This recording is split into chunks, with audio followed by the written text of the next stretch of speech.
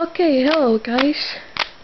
Today I'll show you on how to make your Rubik's Cube a lot more faster than it is. Well, it's not gonna get better at corner cutting. It's just the same thing. But we'll make your Rubik's Cube a lot more faster on speed solving and you'll get um better times like I used to have like it was like a very rough um cube. Um, my times was used to be four minutes. I'm not good at uh solving these, speed solving. Uh, then my times now are like one minute and like fifteen, one minute and thirty, one minute twenty-five or something. But they have improved a lot seriously a lot.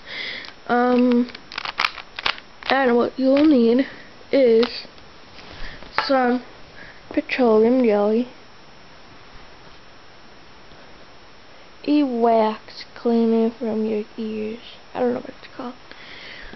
Whatever it's called, actually. Also, you need some lubrication, some silicone. I use the blaster. Next thing you need, well, I think that's it. Um, also, um, I think you will need something to get the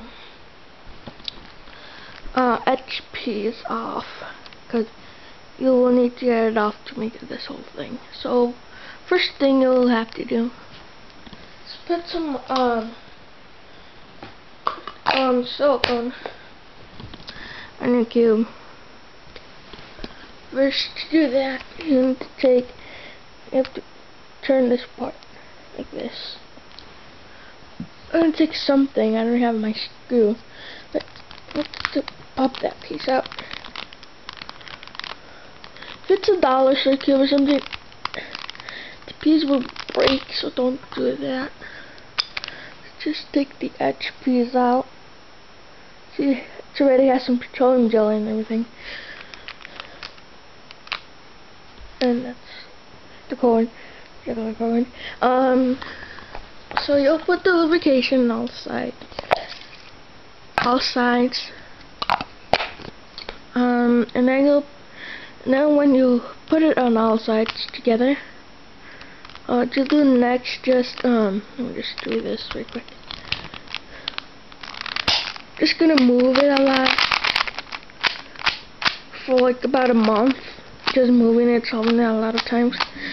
Then for about three weeks or a month um I'm gonna start um putting some petroleum jelly. Just gonna grab one of these and just gonna put it just put it out like this. Wait. Just gonna like all the pieces out all side out and then you're gonna put it around. Let me just show you. I'm just gonna. I'm just gonna show you.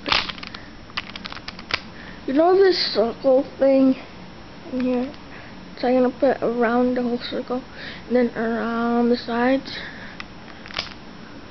And then you're gonna do it the same thing with all six sides.